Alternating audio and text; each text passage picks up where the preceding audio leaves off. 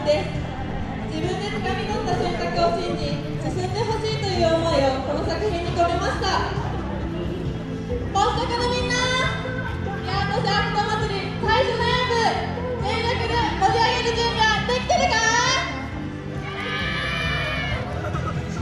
精一杯演舞させていただきます。5000円お手拍子よろしくお願いします。